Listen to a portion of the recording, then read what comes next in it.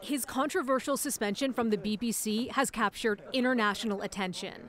Now, popular British sports host Gary Lineker is set to make his return to TV. I've already said what I'm going to say on Twitter. He started a series of posts writing, After a surreal few days, I'm delighted that we have navigated a way through this. On Monday, the BBC reinstating its highest paid broadcaster after a wave of fierce backlash from viewers and its own employees.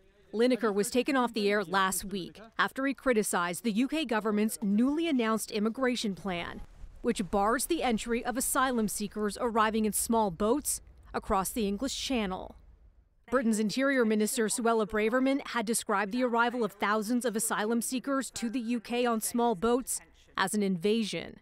Lineker tweeting, This is just an immeasurably cruel policy directed at the most vulnerable people and language that is not dissimilar to that used by Germany in the 30s.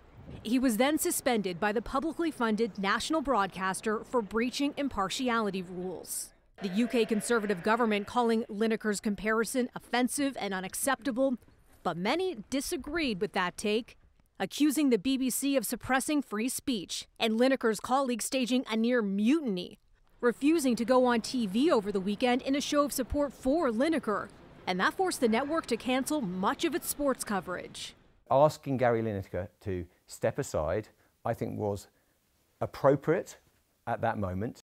But now, an about face, BBC director Tim Davie explaining Lineker has agreed to stick to current editorial guidelines until a new policy is formed. And Davie denies politics played a role in yanking the former soccer star turned high profile presenter of sports show Match of the Day off the program.